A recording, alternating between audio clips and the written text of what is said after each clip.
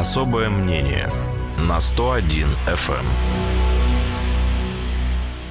12.05 в Кирове начинается программа «Особое мнение». Я Анна Лапшина. Приветствую слушателей. Говорю здравствуйте гостю нашей студии. Сегодня мы будем слушать особое мнение эксперта по финансам и общественника, координатора общественного движения «Малые реки» Кирова Константина Кропанева. Константин, добрый день. Добрый день. Но я сегодня уже видела, прямо вот с утра э, была новость о том, что стартовал грантовый конкурс «Город добрых соседей 2.0», что называется, да, вторая серия. Вот, на 24 год этот конкурс. Мы попозже немножко поговорим о том, э, чего не хватает Кирову и как общественники могли бы приложить руки к созданию там Кирове благоприятной и приятной, привлекательной для туристов э, общественной среды. Вот. А начнем все-таки с более таких э, серьезных новостей, политических новостей. В эти выходные годовщина была, э, судя по нашим телеграм-каналам, все активно подводили итоги года губернаторства Александра Соколова. А, есть аналитические материалы, есть такие материалы, где там плюсы и минусы отмечены. И я бы, Константин, вас хотела тоже попросить. Ну, вот, наверное, больше такое частное да, мнение. Вы все равно в экономике как-то э, больше разбираетесь, наверное, чем значительная часть наших слушателей. Можете сказать, с появлением Александра Соколова, что в Кирове изменилось к лучшему, а что там изменилось к худшему или, может быть, не изменилось? На данный момент э, у меня, наверное, скорее какое-то довольно-таки нейтральное отношение э, к, э, к нашему губернатору. Угу. Во-первых, год это все же не показатель. То есть мало еще. Да, то есть, ну, во-первых, мне не нравится такая история, когда появляется новый губернатор или там говорит, что все, что до меня это было не про меня, угу. а сейчас все начнется с чистого листа. А, с другой же стороны, можно водички попить. А, с другой же стороны, Эм, очень сложно понять э, те вот мероприятия, которые, допустим, сейчас э, проходят, и где-то там, допустим, заслуги э, губернатора, возможно, возможно, это предыдущей команды. Угу. Потому что за год ну, сделать Э, Пока еще не разобрались. В регионе довольно-таки да. То есть, скорее всего, если там какие-то все же действия, это все же, наверное, какие-то остатки предыдущей, угу. предыдущей истории.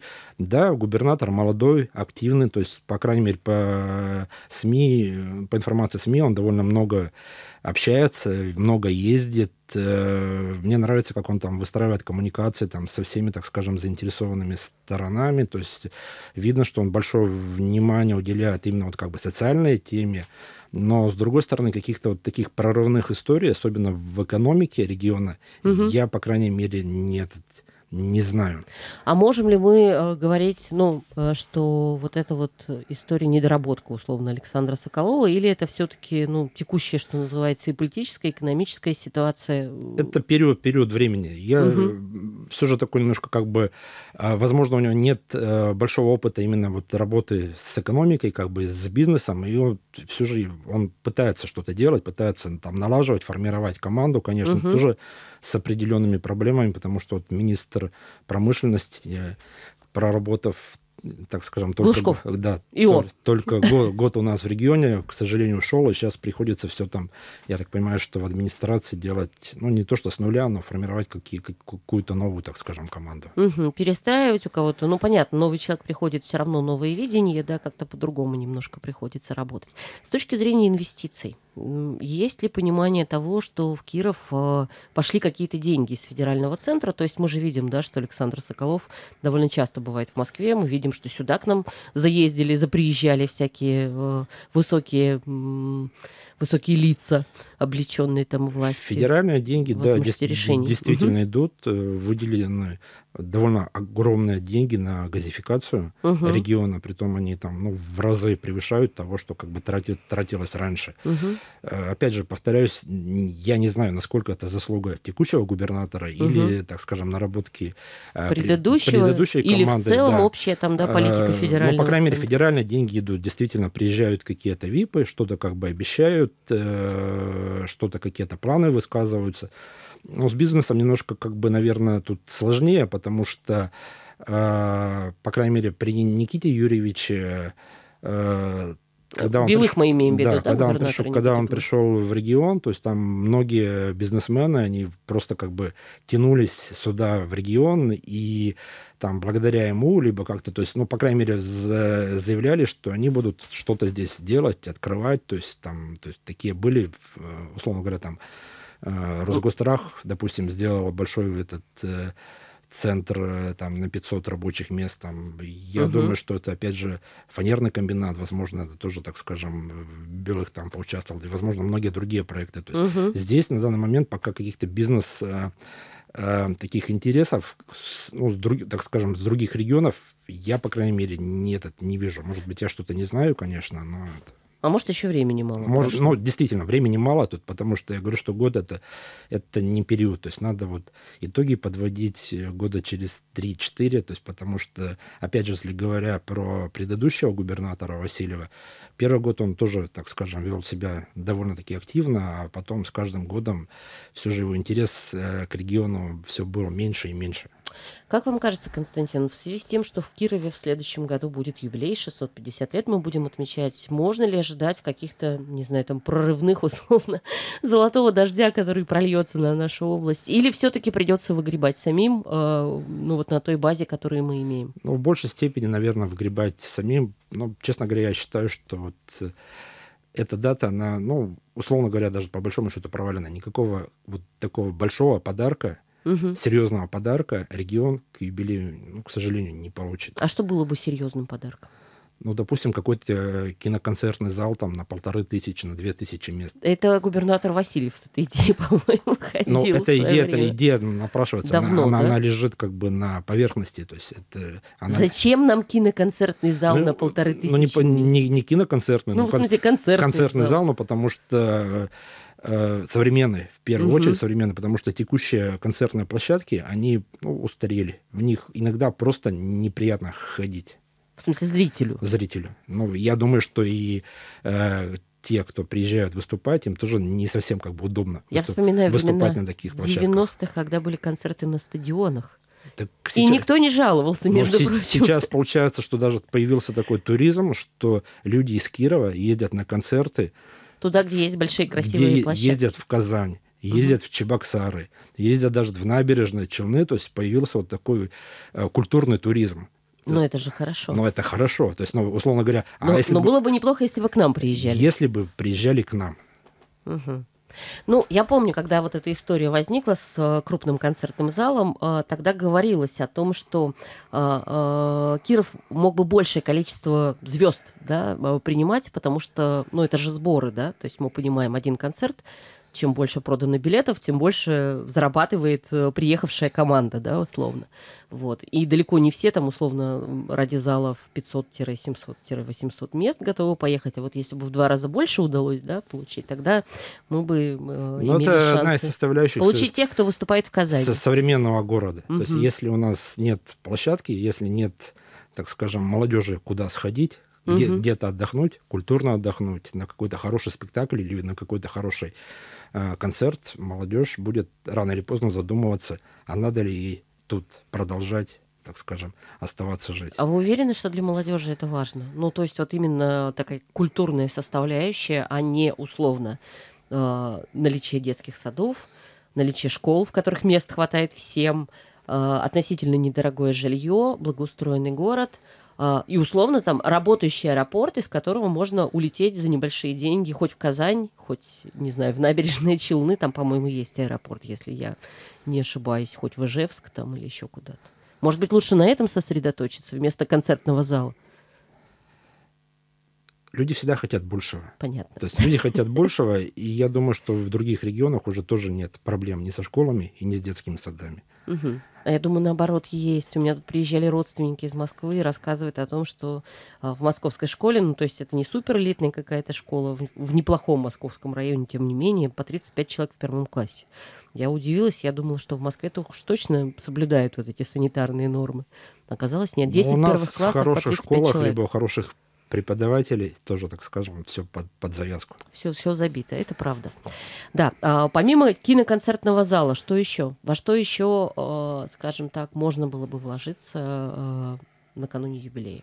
Ну, красивый, комфортный город, то есть это современные парки. Угу. То есть, по большому счету, как ни странно, у нас город злой к молодежи и людям старшего возраста. Некомфортный для них. Э, да, то есть, э, условно говоря, вот сейчас идет реставрация парка имени Кирова, там заложены какие-то площадки, там угу, угу. велотреки, Но, допустим, многие, так скажем, люди недовольны этим. Они говорят, зачем нам нужно, нужно, лучше бы там росли просто бы деревья. Действительно. То есть многие, ну, условно говоря, у нас в А Кирове- молодежь сидела бы на лавочках. Да, а молодежь пивом, сидела например. бы на лавочках, либо сидела бы дома за компьютером. Потому что, по большому счету, у нас вообще нет, там, скажем, пространств именно для молодежи, ну, примерно там, там 12 плюс лет. Подростки. Подростки. Ну, подростки, то есть, где бы они могли там покататься на велосипедах, там, послушать музыку, Мгм. может быть, даже пошуметь, как бы там нико- никому не мешая. То Мгм. есть у нас нет, нет таких площадок, и если бы они даже где-то появляются, то появляется очень много негатива, потому что они не приспособлены для молодежи. Соответственно, где-то, если они появляются, они появляются рядом с жилыми кварталами, и жильцы, конечно, обычно очень не рады такому соседству.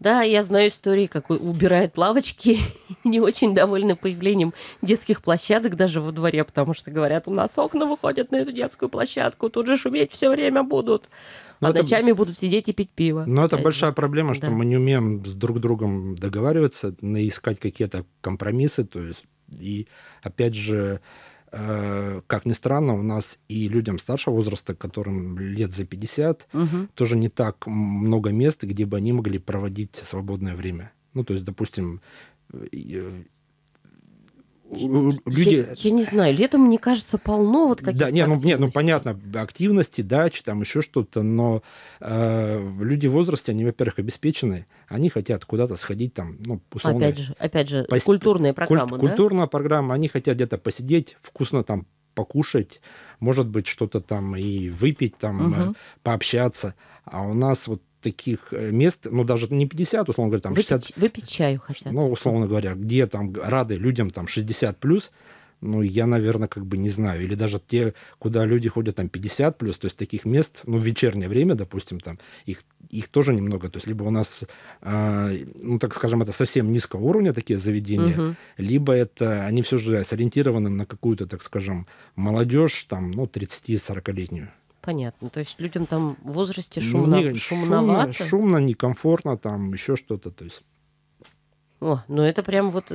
Тут, тут, тут, я, тут я задумалась почему-то, не знаю. Но у нас недостаток этих же Так, летних хорошо. кафе. То есть, условно говоря, у нас Да, летних, летних летних, кафе. летних кафе Перми. недостаток нет и ну то есть просто просто некуда летом выйти и где-то посидеть вечером. Пешеходная Спасская проект, что про нее скажете?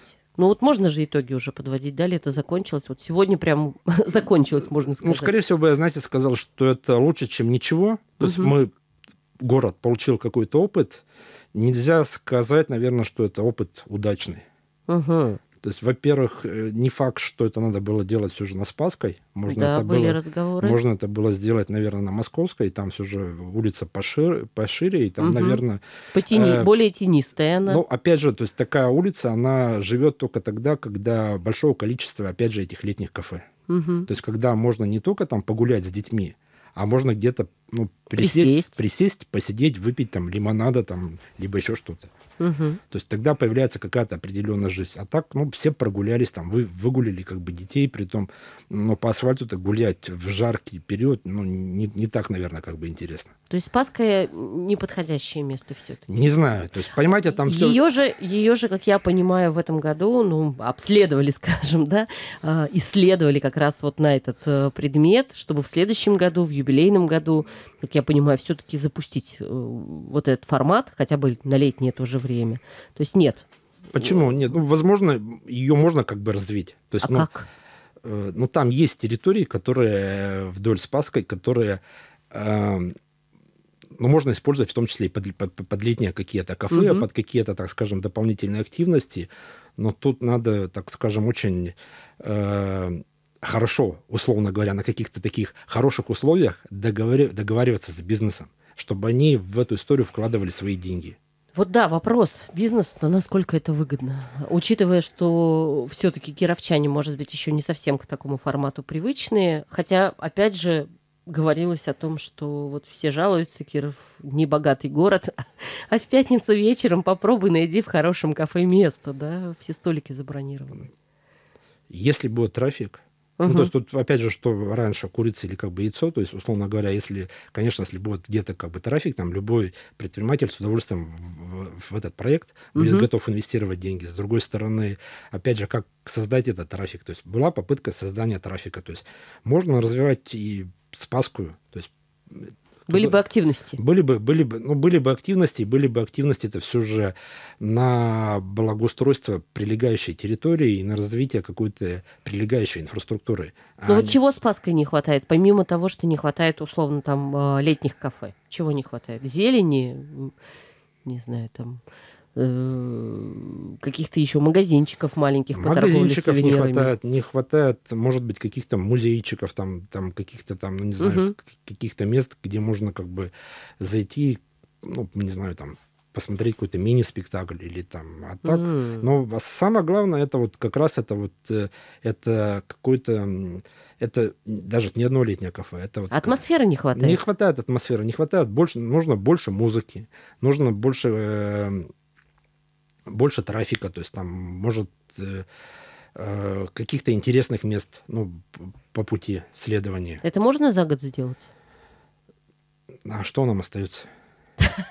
Не знаю, выбрать другое место, ну, отказаться ну, от вообще от этой идеи. Но от этой идеи отказываться не надо. То есть тут, э, может быть, ее просто как-то попробовать, под, ну, немножко уточнить, формализовать. Ну, у нас не хватает центра притяжения, что, условно говоря, от какого-то места, когда вот вы, допустим, сидите дома, угу. там в 5 часов вечера, там в пятницу или в субботу, вы захотели там с подружкой там, либо с кем-то прогуляться где-то, ну, опять же, попить чаю, там, съесть вкусно, и вот вы знаете, что вы приедете в какую-то локацию, угу. и в этой локации будет, условно говоря, 5 кафе, под разные запросы. В каком-то будут играть джаз, в каком-то будут петь живую, ну, там, скажем... Это невозможно сделать на улице, на которой этого нет. И нет площадок для того, чтобы создать кафе, одно, второе, третье, четвертое, например, да. Ну, то есть мы же знаем, мы видели все Спасскую, да, там если, ну, где есть кафе, там есть кафе, например, да, где его нет... Там есть места, то есть там есть как бы дворы, там есть еще что-то. Тем более, э, может быть, совсем не факт, что надо замыкаться на какой-то конкретной улице, это может быть какой-то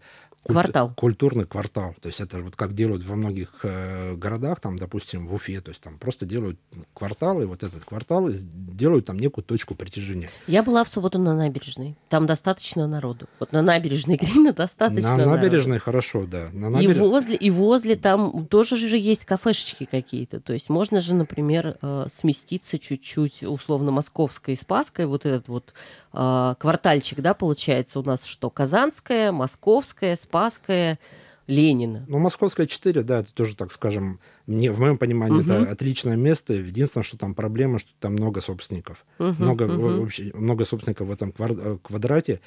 И чтобы там что-то изменить, и действительно сделать что-то красивое. Надо со всеми договариваться. Надо договариваться и договариваться, так скажем, э, не бесплатно. Как-то хорошо, чтобы можно было договориться. То есть тут нужно, нужно желание как минимум первого лица, потому что на уровне там городской администрации эти вопросы не решить. В общем, как минимум надо присмотреться, значит, э, вообще к этому проекту и понять, нужен он нам на следующий год или не нужен, и если да, то в каком формате.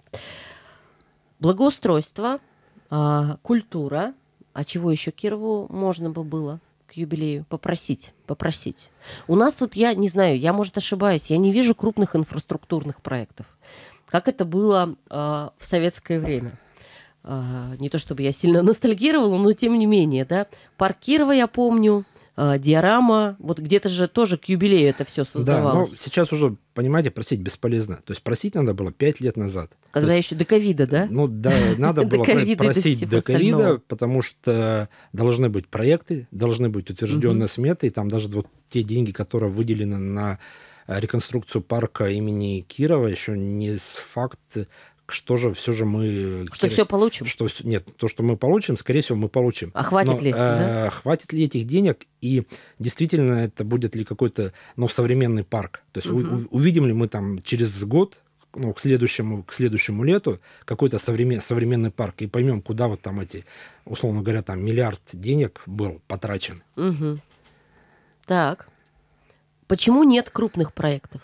Потому что не Потому попросили? что надо было это делать пять лет назад когда вот проводились эти вот урбан-форумы, там, Мгм, то есть когда мгм. как раз это была некая предпосылка подготовки ну, к юбилеям, но тогда слишком часто... А ми- тогда я помню, запросы-то ми- были ми- прям были. на Ми- большие ми- крупные ми- суммы. Менялись команды, Мгм. э, там менялось э, финансирование, что то вроде денег готово там э, федерация дать, то все там давайте будем резать все бюджеты, будем как-то ну, исходить по минимуму. Исходя из этого, там команды пересматривали свое какое-то видение, но Ну, в общем, да. в, в общем, не, ну, как бы немножко Пока грустно. тянули в разные стороны Нем- нем- повозку. нем- нем- немножко грустно. Да, время ушло, к сожалению. Общественники и общественные проекты могут ли каким-то образом за- закрыть эту нишу хотя бы немножко? Ну, конечно, могут, тем более вот эти э, конкурсы, которые проводит э, городская администрация. Город добрых Город соседей. добрых соседей. Это Ага, ну, хорошая история, когда люди там готовы там, при- ну, потратить свое время, свои Мгм. силы, то есть какие-то свои мысли реализовать и готовы в эту историю как бы э, вложиться, там, это, это хорошая история, то есть это вовлеченность, потому что когда делает администрация, ну, всегда можно покритиковать, там еще что-то, а когда это делают горожане, то есть там более получается больше вовлеченности, более там какого-то соучастия там населения, это и люди больше ценят, Мгм. где хотя бы они там рублем поучаствовали в том, ну, либо рублем, либо, Либо там- на субботник пришли. либо, либо хотя бы пришли на субботник, там поубирали мусор. Это эффект ППМИ, о котором нам рассказывали Да, да. организаторы проекта, когда да, люди поучаствовали, бизнес поучаствовал, а потом ходят и сторожат эти, значит, лавочки или детские площадки, гоняют оттуда хулиганов и говорят, ну как так, мы тут работали несколько дней, а тут пришли и сломали. Так что это нормальная история. Но, Но это же не закроет э, крупных каких-то это не закроет. дыр. Это, это такие как бы локальные истории. Ну, пусть будет так, чем, чем, чем, чем никак. Это- Константин, вас хочу спросить, как координатора э, общественного проекта, что вообще сейчас с ним происходит и, и, и как э, меняется отношение власти к общественникам, но э, у нас до рекламы, насколько я понимаю, минутки три. Вот коротенечко бы уложиться. Ну, Получается, страна немножко изменилась, изменились Да. общественники, Мы и сейчас, видим. и сейчас э, другие Приоритеты. Много, много, много других приоритетов, много как бы других, э, так скажем, э, ну Задач. задач, куда активные люди могут потратить свое вре- время и силы. Мгм. Если мы говорим про малые реки, ну, процесс каким-то образом идет, но вот э, то, что мы могли сделать, какие, ну, условно говоря, маленькими затратами, вот как раз э, путем привлечения там населения там либо бизнеса, мы, наверное, как бы сделали. То есть все остальное это должно делаться уже более, так скажем, на высоком, на концептуальном уровне. То есть это Мгм. нужно То есть там власти должны да, это подключаться. делать, да, власти. То есть надо, единственное, что в этом году э, Министерство экологии должно было почистить речку Хлыновку. Я, к сожалению, так и не доехал, не посмотрел, что же все же получилось. А мы спросим. Да, но и опять же надо повторять, что проекты-то идут, и идут они, так скажем, э, неплохие. То есть то, что, допустим, проект закончили совсем недавно э, на, э, на Хлыновке, рядом с Ежовским Мгм. озером, то есть оформили там входную группу. Ребята сделали проект э, э, арку Вятского Кремля. То есть А в е- эти выходные да, как раз есть, да, было есть активисты, ребята стараются, мы пытаемся ну, друг с другу как-то помогать, по- поддерживать. То есть, Ну, вы же отзывы слышите, с Вячеславом Симаковым стало проще работать, чем там условно с Дмитрием Осиповым. Ну, Мы любим сравнивать там, да? Вячеслав Симаков, он более вовлеченный. То есть мы его видим, как Мгм. фотографии появляются, как он занимается спортом, как он участвует самолично там в субботниках, убирает мусор. То есть он более вовлеченный, чем, чем Осипов. Но денег-то он не возьмет, если их нет. Если они на другие проекты ушли. Откуда же он возьмет, например? Ну, то есть он бюджетные, например, потратить Ну, не он- может. Даже своим примером он может простимулировать Своим примером он может, может простимулировать, тем более он делает то, что как бы может. То есть в, в рамках своих там финансовых, там, ну, не знаю, там и административных возможностей. И человеческих, И потому что человеческих. ощущение иногда, что Вячеслав Симаков вообще не спит. Да, Константин Кропанев в нашей студии, общественник, координатор общественного движения «Малые реки Кирова», эксперт по финансам. А К этой части нашей программы мы перейдем после небольшой рекламы. Сейчас убегаем на полторы минуты и вернемся. Особое мнение на 101 FM. Напоминаю, в нашей студии сегодня Константин Кропанев, эксперт по финансам и общественный активист. Сейчас мы к такой а, более серьезной части опять переходим. Это э, э, финансовые вопросы и, и, собственно, там вот первые что хотелось бы спросить, не очень понятно, что вообще происходит с рублем. Мы Константина спрашивали об этом где-то месяц назад, когда рубль начал падать, и вот он допадал просто как-то вот уже, уже через все мыслимые границы все это перешло. Ну и э, это же процесс такой, он не сам по себе, то есть это все равно сказывается на стоимости кредитов, в том числе для бизнеса, на стоимости э, строительства э, и, и там покупки квартиры людьми, да, на том, куда люди сейчас вкладывают деньги. Они вообще вкладывают рубли в банк, учитывая, что рубль падает, или они как-то по-другому себя ведут? Ну, если начать э, с рубля, с да. банковских депозитов, то после повышения ключевой ставки до 13%, угу. ну, многие банки подняли э, ставку по депозитам. Как раз вот задача поднятия ставки это одна из задач, чтобы люди вместо того, чтобы инвестировать деньги в валюту, размещали бы их на банковских депозитах. И сейчас ставка по рублевым банковским депозитам, она ну, можно найти 12% годовых, угу. что при текущем моменте совсем неплохо. Это покрывает инфляцию? Э, инфляция по-разному считается. У каждого угу. своя инфляция, если мы Все говорим... Росстатовскую и, покрывает, да? Росстатовскую инфляцию это покрывает. Эм, тем более есть такое мнение, что в данном коридоре, там, условно говоря, там 90, типа 100 рублей, доллар может находиться довольно-таки долго. Это может быть там полгода, год, два, три. Ничего себе довольно-таки долго. Ну, понимаете, мы просто Я поняла. любим сравнивать с теми цифрами, которые, с которыми нам приятнее сравнивать. Угу. Условно говоря, когда мы вспоминаем, что доллар совсем недавно можно было скупить по 60 даже дешевле, да, да, да. нам текущая цена доллара кажется ну, какой-то там сверхъестественной. Ну, почти в два раза выше. Но, да? по идее, три года назад доллар стоил там ну, порядка 80, там, ну, чуть 70 там, чем-то рублей, 78. Угу. То есть за три года, вот если посмотреть, вот он не так сильно как бы и вырос. Если мы говорим про будущее доллара, к сожалению, вот на текущее состояние его влияет много таких э, вещей, которые мы вот с вами... Про будущее доллара или про будущее рубля? Про будущее рубля. Рубля. Про, угу. про будущее рубля, которое, которое мы с вами не видим и не ощущаем. Это в первую очередь вот как раз э, перетоки валюты из страну в страну и из страны. Угу. То есть как только у нас увеличивается там импорт, угу. увеличиваться спрос на доллары. Понятно, как потому только, что люди, которые как только покупают, у нас там увеличивается валютой. туристический поток, э, за границу тоже увеличивается спрос на доллары. Как только происходит, ну, к примеру, вот на прошлой неделе государство погасило своих облигаций на 3 миллиарда долларов. Угу. Это... То есть государство покупало валюту, ну, государство рассчиталось рублями. А, рассчиталось рублями? А, не рассчиталось рублями по курсу, но те инвесторы, которые получили эти рубли, у них есть такая опция, они могут купить валюту. Так. То есть будут ли они покупать валюту, это, ну, каждый, условно говоря, как бы решает сам, но это угу. тоже может привести к тому, что будет, э, так скажем, определенный спрос на а, доллары. На доллары. А, а это рынок, соответственно, это, это рынок, доллар будет да. дорожать. У государства, ну, в лице Центрального банка, не так много механизмов, с помощью которых они могут влиять вот на э, курс там, рубля по отношению к доллару. То Если... есть, по сути, они могут только выбросить какое-то количество долларов Но в, они в практи... продажу? практически не могут. Не могут. Практи... Практически Понятно. не могут. Они могут, э, они могут делать какие-то словесные интервенции, угу. могут делать какие-то административные там запреты. Э, ну, то есть либо там повышать ключевую ставку, то есть есть, есть определенные механизмы, но они такие не, не идеальные. Но вот это большая экономика. На обычном потребителе э, вот этот вот курс, ну, кр- кроме там импортных каких-то товаров, которые он покупает, как-то сказывается?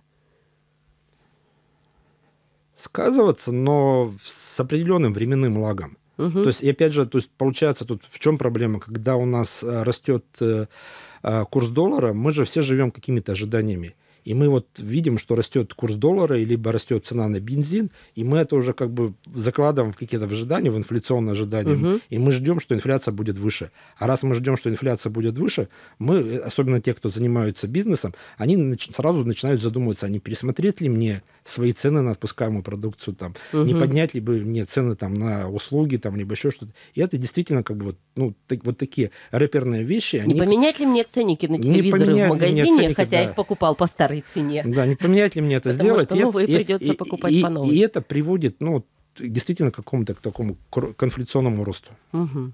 То есть вот с точки зрения инфляции, то, то, то, что, то, что мы покупаем, вне зависимости от того, где это произведено, может э, подорожать. Может действительно подорожать. Просто на инфляционных ожиданиях. Э, но тем более надо понимать, что платежеспособность населения за последнее время, она реально как бы увеличилась. То есть это благодаря тому, что, во-первых, зарплаты подняли, во-вторых, э, социальные выплаты за последние несколько лет, угу. ну, так скажем, эти же выплаты на детей, они увеличились, увеличились очень существенно. И эти деньги все в экономике. И эти деньги, потому что да, их тратят. Их тратят. Эти деньги пошли как бы на потребление. То есть это деньги пошли там в, в недвижимость, эти деньги пошли в товары, услуги. Угу. К примеру, опять же, вот э, ну, все рестораторы говорят, что за последний год у них вот э, поток э, в ресторанах на 20% увеличился. И чек угу. увеличился, как бы, и, и чек увеличился сам. Интересность, ну, чек понятно, потому что цены выросли. Ну, Скорее нет, ну, всего, нет? Да, и то, что и цены выросли. Во-вторых, опять же, рестораны это как бы некая история впечатлений. Люди стали меньше ездить за границу. А, ну понятно, надо куда-то тратить. На, надо куда-то как бы тратить. Да, как-то они, развлекаться. И они идут тратить так, как они умеют. Да, ну понятно. В общем, на отпуск в Турции слишком дорого откладывать, поэтому мы э, лучше каждые выходные будем ходить куда-нибудь в приятное место. По чуть-чуть. Оставлять. Ну, примерно так. Отпуск в Турции проедим за год. Ну ладно. ну, в Турции не знаю, там где, где-нибудь еще. А, с точки зрения а, таких, ну вот, крупных покупок, да, а, недвижимость мы берем. Сейчас в недвижимость выгодно вкладывать или нет? Если у вас есть э, возможность получить льготный кредит, ну, действительно... Там, Ипоте- ипотеку ипотечный, вот эту с господдержкой. Есть, да, за господдержкой, там, какую-нибудь семейную, ипоте... угу. семейную ипотеку, да, тогда это можно как бы рассмотреть. А при текущих, если брать уже кредиты по какой-то рыночной ставке, то надо... То нет, лучше Но надо очень, очень сильно подумать очень сильно подумать и посчитать свои возможности, оценить свои возможности. Сможете ли вы такие проценты выплачивать? То есть можно подождать. Все равно ставка когда-нибудь э, снизится. Да, но тут надо понимать, что, скорее всего, стоимость недвижимости может не упасть, потому что, ну, к сожалению, вот инфляция у нас, она а может даже вырасти. растет, и она может как бы расти, вот если предыдущий период стоимость недвижимости росла за счет вот спроса, угу. за счет, ну, так скажем, ипотечных кредитов, то сейчас недвижимость может расти за счет именно вот каких-то инфляционных вещей. Угу. Подорожание как бы себестоимости, да? Спасибо большое. Константин Кропанев, у нас вот буквально полминуты остается. Думаю, что вряд ли мы так погрузимся уже в региональную экономику, да? А как вот ну, это в, регион... в региональной влияет экономике все пока, пока все нормально. Все стабильно. Стабильно. У нас экономика довольно-таки диверсифицирована. Если в каких-то вещах, на каких-то предприятиях есть провал, то у многих других, ну, как бы очень хорошо как бы дела идут. Понятно. В общем, как-то плюс на минус. Плюс, плюс, плюс на, минус, минус, плюс на минус, да. Вроде и ничего. Спасибо нашему эксперту, эксперту по финансам финансам и общественнику Константину Кропаневу. Программу «Особое мнение» мы завершаем. А, на нашем сайте можно будет ее переслушать. Спасибо. Все, спасибо. «Особое мнение» на 101 FM.